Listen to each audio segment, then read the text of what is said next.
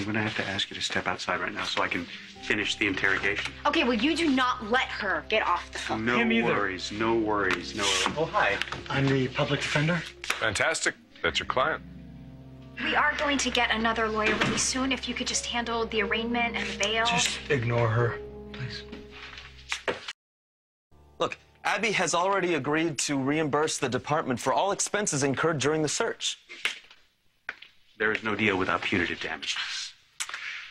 I will agree to knock the fine down to 100,000. I would jump on that if I were you. It's a good deal. Oh, what? So she writes a big check and she just walks? Mm, well, if she agrees to 100 hours of community service and a public apology. Mm. Okay, so what about me? No deals for you.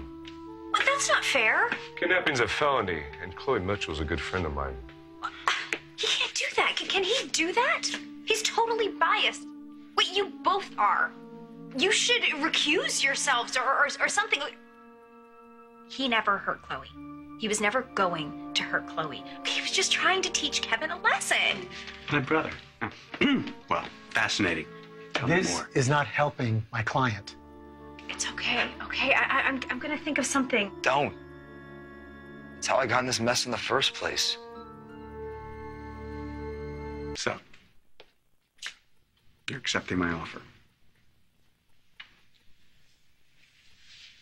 Yeah. I'll work the particulars out with Rafe. You can go. And you're headed to your arraignment. Come on, let's go. You might want to change your faceplate status back to single. Come on. You should get home, get some rest. Call you soon.